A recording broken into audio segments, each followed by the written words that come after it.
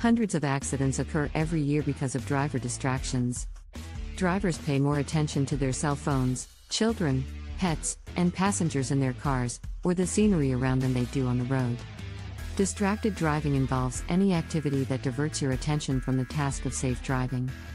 It includes talking or texting on the phone, eating and drinking, talking to people in the vehicle, fiddling with the radio, or using navigation systems.